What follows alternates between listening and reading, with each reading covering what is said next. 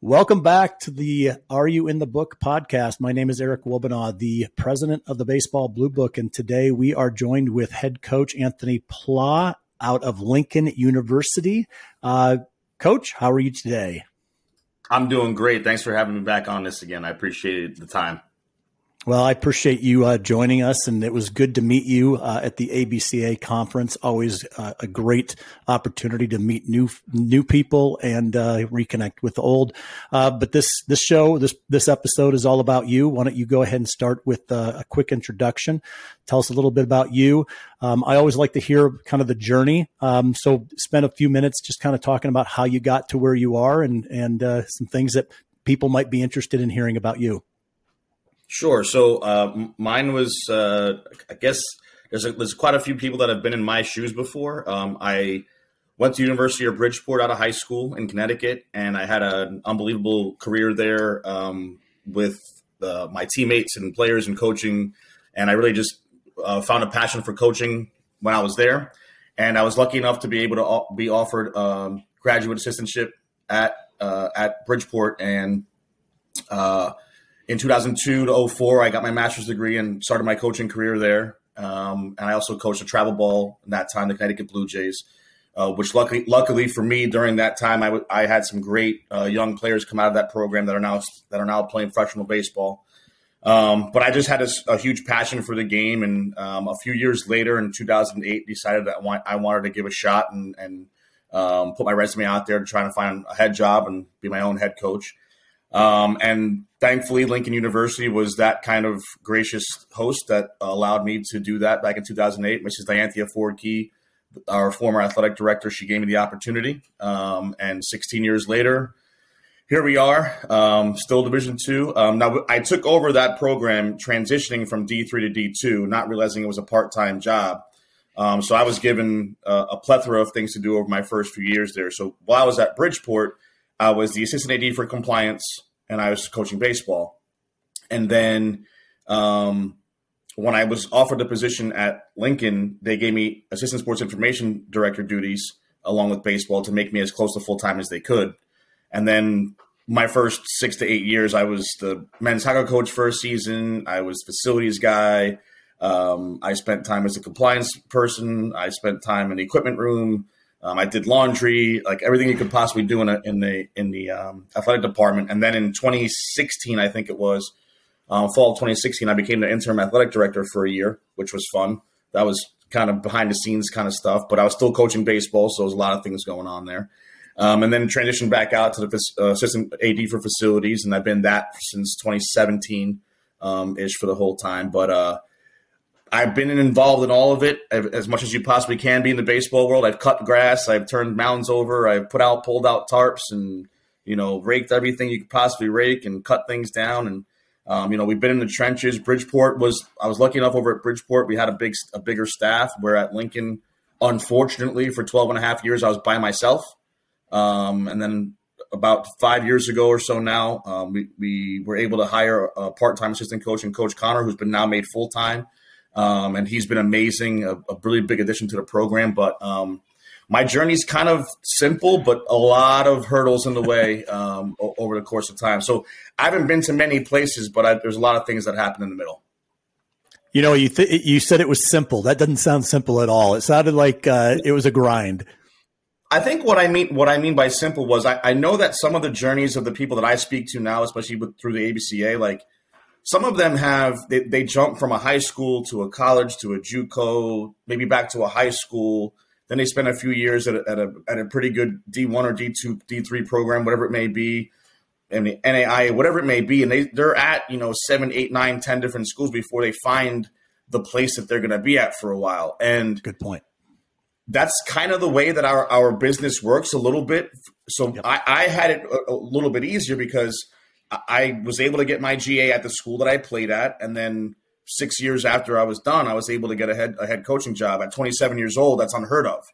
Um, you know, you really got to put your time in, and there's there is a grind. Now, I put my own kind of grind grind in um, as it pertains to you know the things that I had to do and the jobs that I had to have over the course of all this time. So, so I definitely had to battle that uphill, um, I guess, battle. But Um, you know, some of the guys that we talked to, you know, they were again they were high school coaches and assistant coaches, yep. and then they did travel ball, which I did as well. And you know, I still coach Legion ball in the, in the town. Um, so th- there's a lot of different ways to get into the game, and a lot of different ways to get back to the game. And and personally, for me, with the ABCA and everything that gets involved with it, um, my biggest thing is developing players and getting them to be next level kind of people, um, players and people. So for me, that's kind of where I I push all my emphasis into. Like, do I want to win a national championship? Yes. Do I want to have guys get drafted and play professional baseball? Yes. All those things are true. Um, I, I want to go win a World Series in Major League Baseball. All the th- things are true, and I think everybody would be on the same page. And if they weren't, they're probably kind of crazy. But I think at the end of the day, our job as coaches in this baseball world is to develop younger kids to get whatever next level that may be. So if they're 8U, it's to get to 10U. If it's 10U, to get to 12U, 12U to get to high school, high school get to college, college get to pro ball, so on and so forth. And all that being said, it's our jobs also to make sure that they're growing up as young men. Um, That's great. So my journey's given me that opportunity. I was a 17 year old college freshman. I was a 27 year old head coach at the college level you know, hopefully when I'm 47, I can I can move up in the world and become a grown up at some point in my life. But I enjoy where I'm at. Um, so you know, things things happen for a reason, and I'm thankful for the opportunity that I've had. I met so many great people along the way, and um, I'm lucky enough that my college baseball team has nine college coaches out of that team. Um, so I have a bunch of friends that I can lean on, which is great for me. Um, and you know, we just kind of push the needle every day we can with with development and getting guys to become better at the game. You know this is such a great opportunity. The ABCA. I mean, how much how much more information can I get? And I feel like if I don't go, I'm going to miss out. So, um, but that's kind of been my journey, and, and uh, it's yeah. been a lots of hurdles, lot of lots of up and ups and downs, mo- mostly downs at Lincoln, but now we're starting to see all the fruits of our of my labor initially, and with the addition of Coach Connor, it's been like we had our best year last year, and now it's only looking looking up from now from there. That's great. You know, it's it's I, I, love how you kind of explain that because a lot of people that watch this are also people that are looking into getting coaching and and they like to listen to coaches and and talk about their their trials and tribulations and their ups and the downs and the paths that they might have taken. And so eh, all paths that lead to a head coach are unique and and uh, specific to that that individual. Talk, talk, talk about the persistence, the things like that. When you when you look back at your your journey and where you're at today, what are a few things that kind of stick out as far as lessons that you had learned and that you are now applying to what you're doing today that you want to also share with the the, the student athletes that you have? So I'll give you kind of two scenarios on this. The first one is what I used to say, what I used to think about myself was be where your feet are, be who you are as an individual. Um, don't stray from the things that you were taught because I think at the end of the day, all of us in, in the coaching world, not necessarily just baseball, we are a, a, a culmination of everyone that's ever been across our paths as far as coaches go. So, you know, as, as, a young kid, I had a few coaches in Little League, and then I had a few coaches, you know, I had a couple different coaches in high school, I had a couple different coaches in college. I've been around a bunch of guys, so everybody becomes, I become a little bit of everybody um, with my own personality, obviously attached to that. So then that's who you get as Coach Pla. I have, you know, 97 coaches plus me, and that becomes who I am. So this is what I think is a great opportunity. Fast forward to me being six, 23 years in the game, 16 years at Lincoln. I now say things like, who are you as an individual?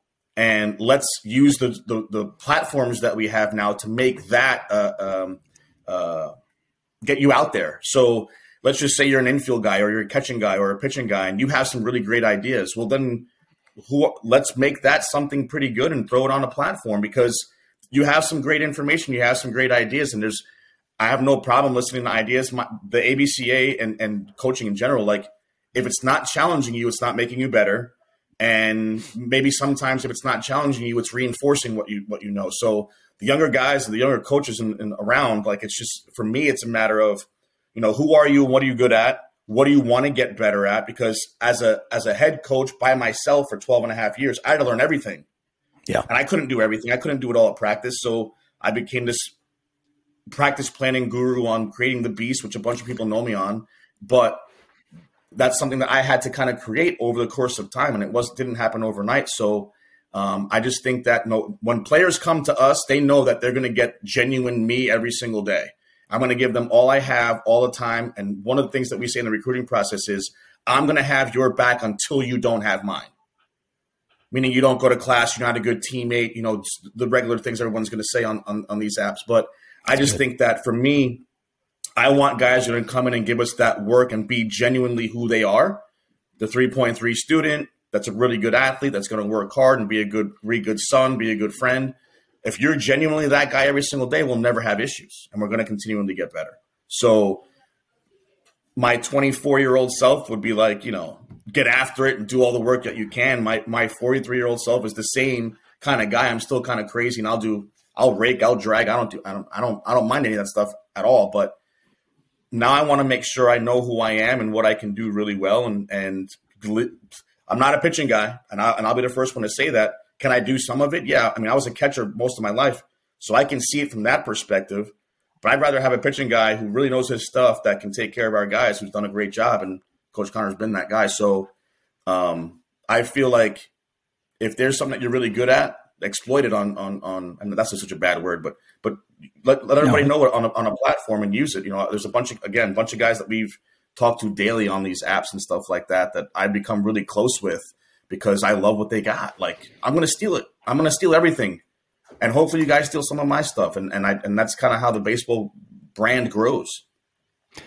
You know, that's a, a, great point that you made. You know, I, I, one of the questions that I always like to ask is, you know, ba- baseball is baseball, right? I mean, there, there's, there's, but there's a lot of ways of coaching it. There's a lot of ways of, of running a program.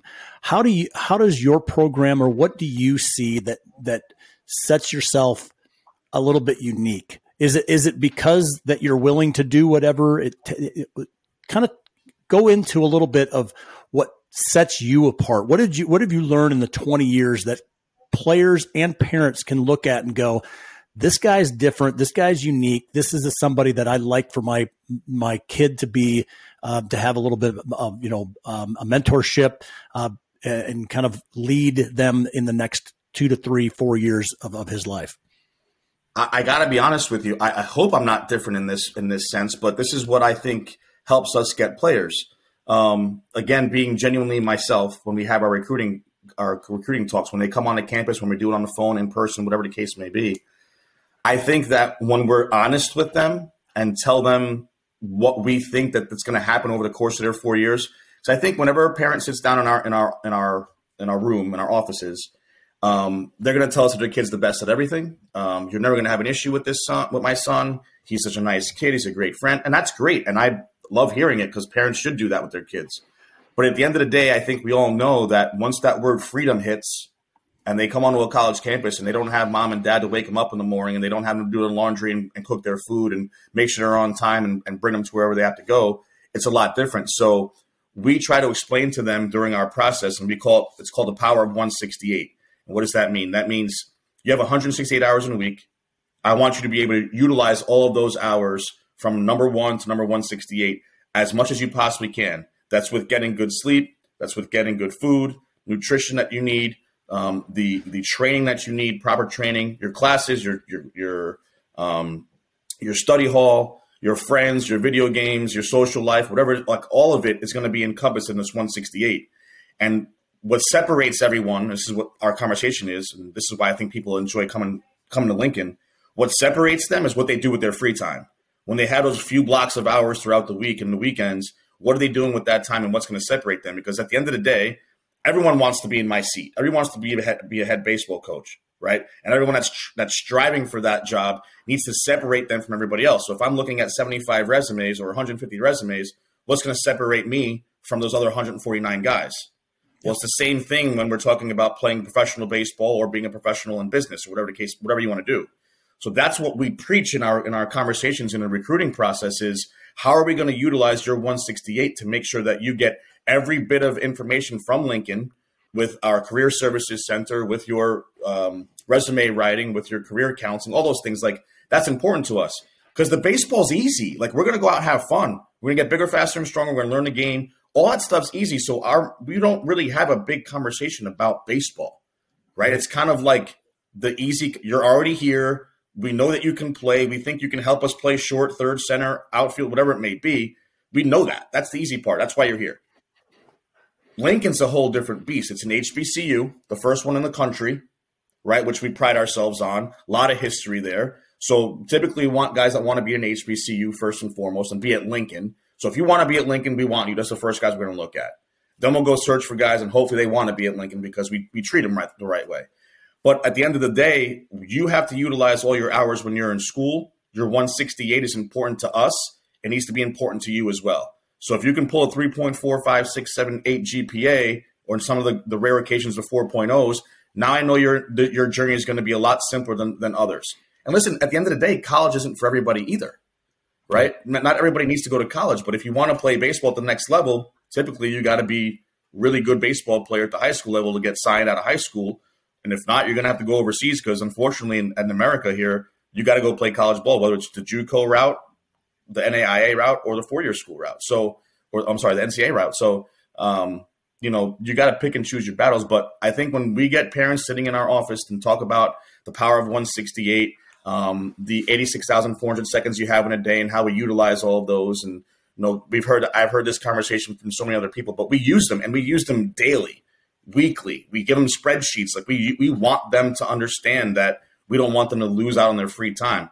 Go have fun, enjoy your friends, play your video games, do all that stuff.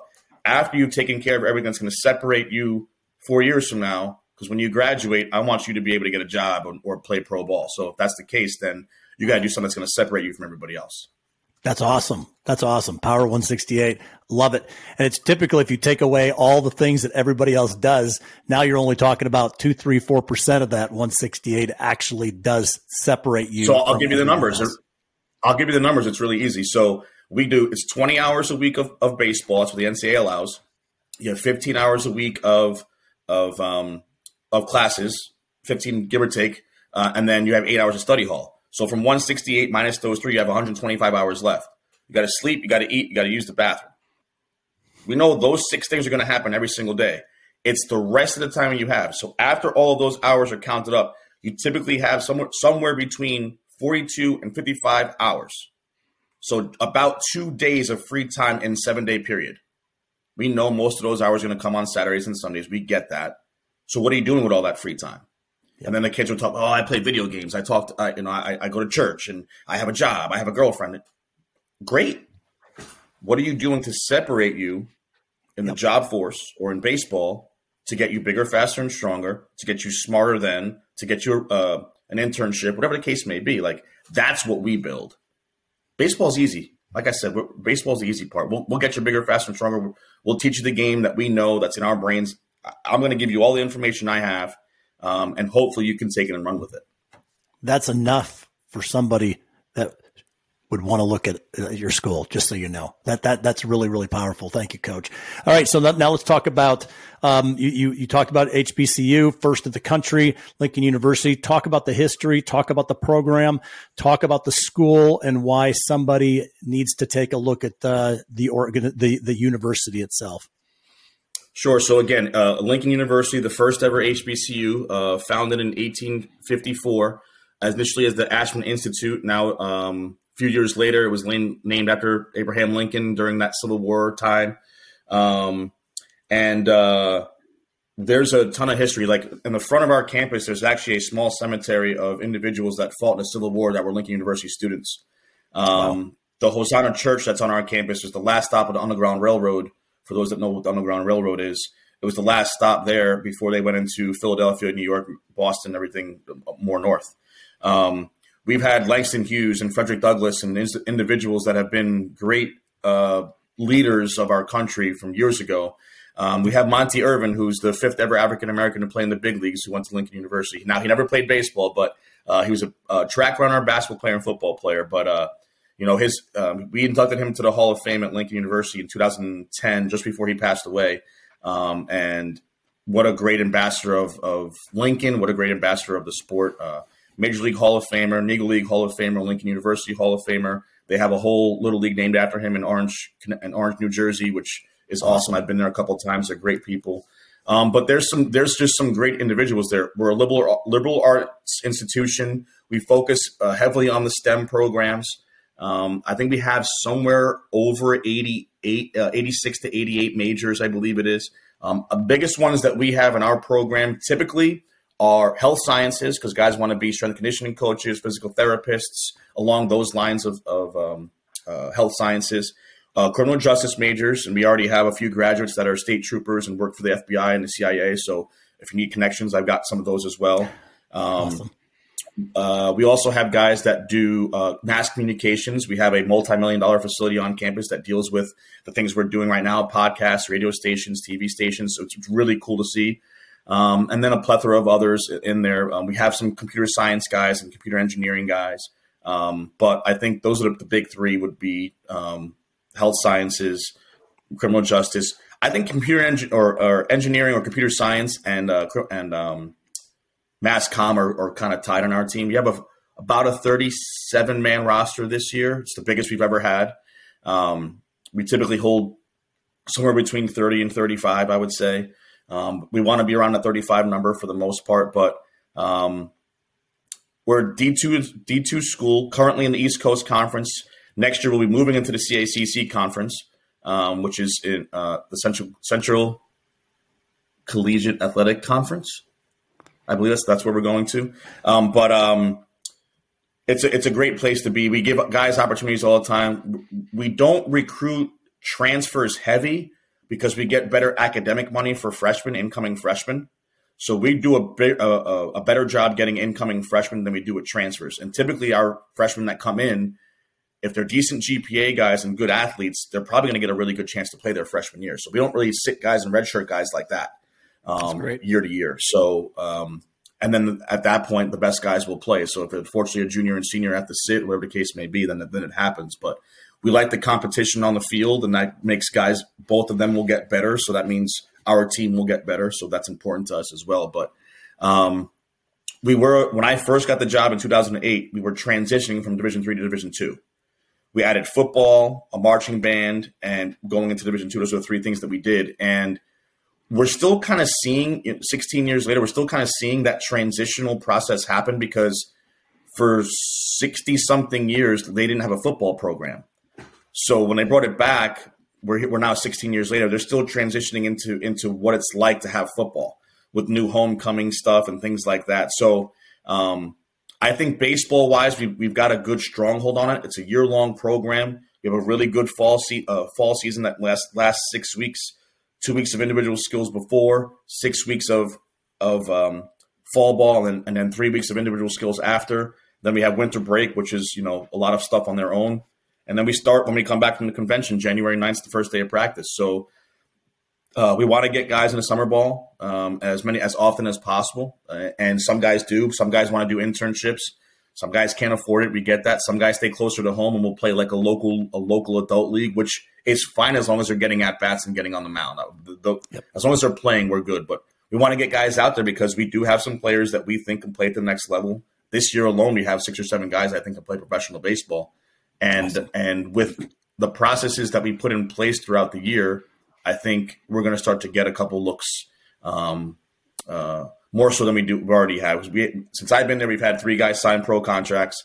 Uh, Michael Howard still he's in his going into his sixth year of pro ball. Um, he was a shortstop for us. We currently have his younger brother Chris Howard is on our team now, um, so it's good to have the keep it in the family, and, and he's back at Lincoln, so it's kind of cool to have that. But you know, it's it's it's been a great ride. We've had some really good, talented guys. They've been spaced out over years, but I think now we've got a really good group that won a lot of games, or the most games we've ever won last year in Division Two, Division Two era. And I think now they have some really good leadership within the program and they're going to push that thing forward. Now it's finally out of my hands. It's finally on their on their hands, and I think that's important because I think championship teams, the team leads, yeah. in many ways, in positive ways, and without that, and with the coach leading the whole time, I think it, it holds the, the players back. But the, when the coach when the coach no longer has to has to lead or tell guys to do certain things, and the players can do that, we, you know you've made it when that happens. That's great. Okay, a couple of questions. First of all, talk about H, uh, the HBCU. What is it? Are the are only minorities able to, to, to come come to the university? Kind of go into sure. that a little bit, and then uh, I got a couple other questions after that. Sure. Uh, so historically black colleges or universities, I believe there are 68 in the country. Um, Lincoln again being the first. Anybody can go. It's but it's what um, at HBCUs. I think what what drives people to go to them is the history that involves in, in African American culture.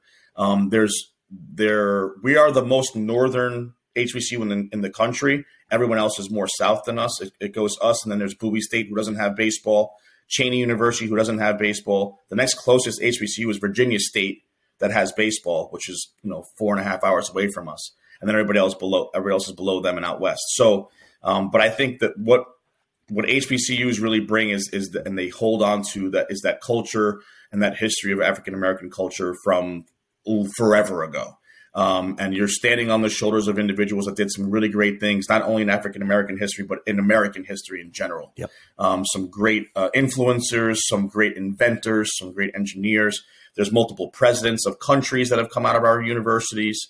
Um, there's multiple presidents of, of universities that have come out. So, um, you know, there's there's some really cool things that if you really dive into what an HBCU is and, and all the different ones that they have. Um, so, for example, a long time ago, Lincoln used to be called a Black Princeton, and there was a law school attached to it. Well, now Howard University has Lincoln's law school, and Howard's really known for their law program now. So, cool things to, to go back into and dive into. But I think if you're interested in going into that and understanding what the culture is, great, it's all for you. But anybody can come. Um, we have uh, white kids, Chinese kids, Filipino kids, a bunch of Hispanic guys.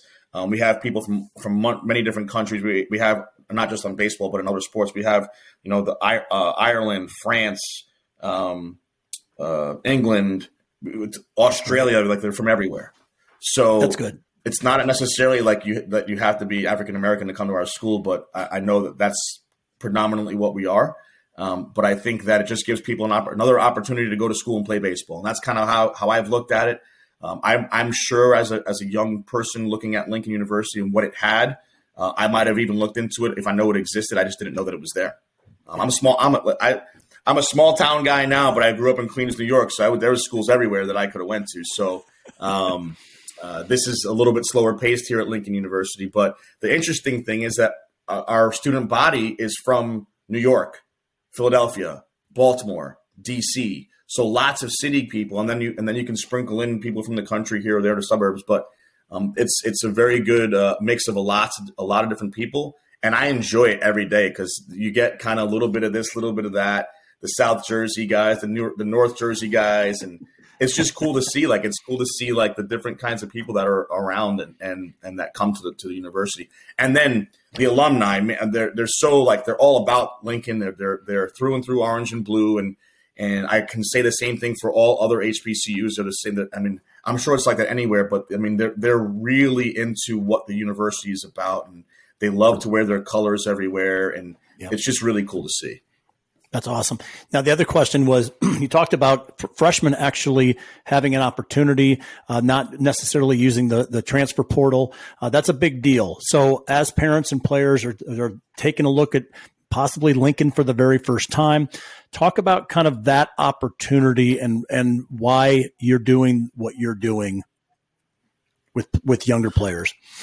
I got you. I, um, you know, the, the transfer portal is going to be a huge thing, and and I've been telling my assistant coach for a while now that I think what the transfer portal is doing for for all sports, but for baseball, is that it's letting the better guys play in better programs and the guys that might have had a shot at playing at one of those big time Power Five schools, they may not get that shot anymore because all they got to do is go to someplace else and find that guy to fill that hole, the void that they're missing. So what I think is going to happen in the next couple of years, it might even be happening this year, because now the COVID seniors are now gone. This is their last year. So after this year, there will be no more COVID guys, unless you have that guy that's playing his ninth year of college football. I don't know if you saw that the other day. That was kind of yeah, crazy. University of Miami. Um, yeah, University. I saw that, but um, but I think that what it gives what it gives us and what I've always been uh, attributing success to is guys that develop over the course of time. So if I'm recruiting you as an individual and I think you have some talent and I think I'm recruiting potential, I think you're going to come in that first year and if you surprise us, you get a shot. You get 20, 30, 50 at bats.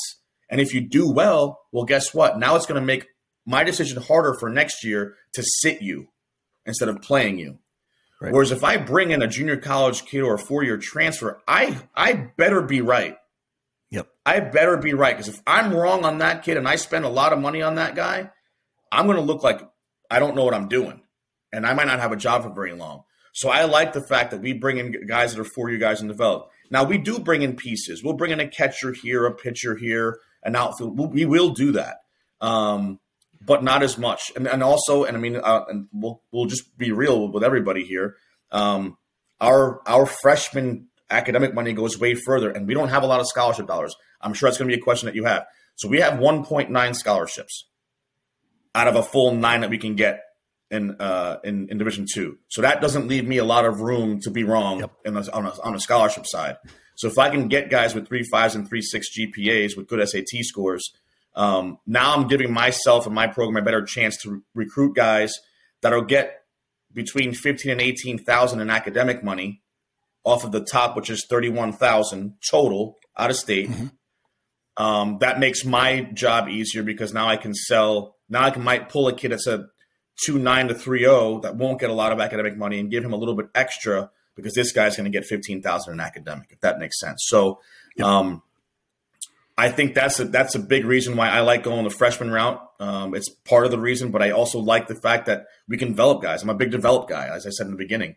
So for me, it gives me a chance to see see guys get through four years. And listen, I, I have a list of like 179 players I've had come through my program in 16 years and we've had some guys transfer, but they all come back. And in one way, shape, or form, they come back. They come. They've been to alumni games. They'll reach back out to me. They'll graduate from their schools and still come back and say hi to their buddies. So, like, there's awesome. still a family feel at Lincoln, and that's what we love about it because the guys will always come back. They love. They awesome. when we say Lincoln pride, it, it's it's it's meaningful. That's really important. You know, there's always they always talk about the fit. Coaches always talk about fit, and and the fit is the school um, you know, the baseball, yes, the financial, yes, the school, you know, what, what, what that means. And I appreciate you kind of explaining to what that, that uh, Lincoln pride really means. What kind of kids are you looking for, coach? Tell me specifically the type of kids that will, will you be interested in, in, uh, in hearing from. I know the last time we spoke, I made you chuckle when I said this, but I need dirt bags. Um, and and what I mean by that is I want guys that are are willing to do anything to make a play, um, anything to help their team. We like team guys. I want guys that are willing to hit behind runners, guys that are that are willing to put a bunt down, sacrifice their own at bat for the betterment of the team. Um, and I got and I want guys that hit the ball out of the ballpark too. And I want guys that throw 97 miles an hour. I think what we're looking at are very specific people. So I want guys first and foremost that want to be at Lincoln that they think Lincoln's going to be their home and they can see themselves fitting there with no issues we do talk about fit quite a bit. Um, it's a, it's, a, it's something that gets talked about a lot in, in our realm. And it Lincoln University is a different kind of institution for a lot of people if, culturally. Um, so if that's a fit for you, then we want you to be here. And that makes us want you even more because if you want to be at an HBCU and Lincoln's the, Lincoln's the place, we want you to be there.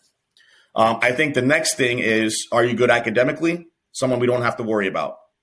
So if we're talking about a guy that's probably a three three or better in high school, then we don't have to worry about you academically. I'm not going to have to hold your hand, make sure you're going to classes, make sure you're going to study hall. Makes my job a whole heck of a lot easier.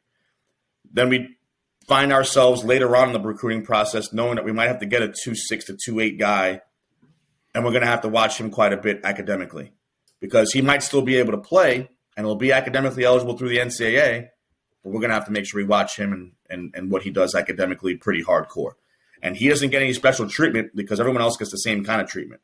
If you drop below certain GPAs and you you have to go to study hall or you can't play, we don't take it. Oh, that's it. We got to find somebody else.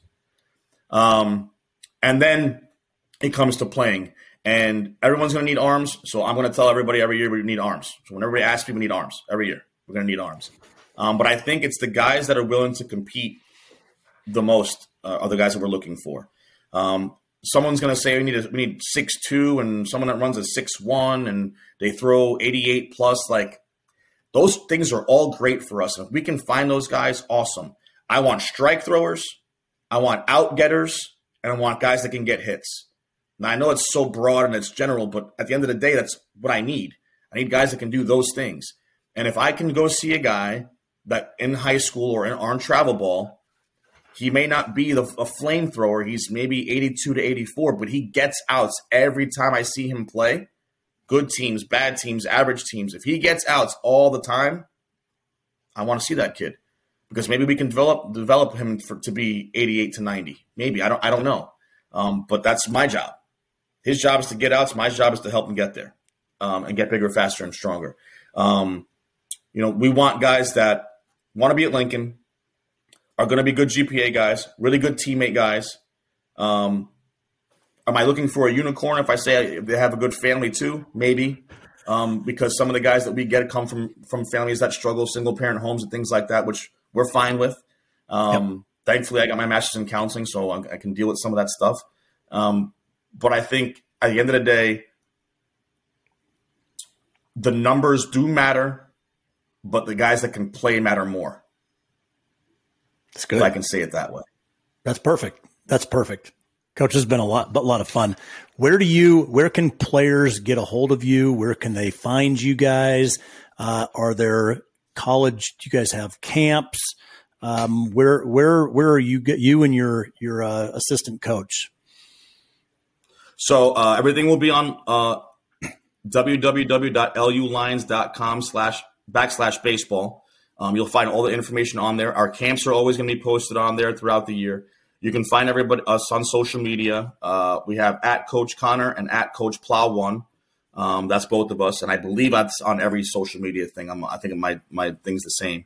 Um, and then um, lulions.com, we have a ton of stuff on there um, from our website purposes. There'll be everything on there as well. But reach out. Uh, apla at lincoln.edu is an e- is the email, or a connor at lincoln.edu is, is Coach Connor's email. Um, reach out to us. We'd love to talk to some guys and talk to some individuals. individuals. Um, doesn't really matter to us who you are and where you're, where you're from. We're not very picky on regions.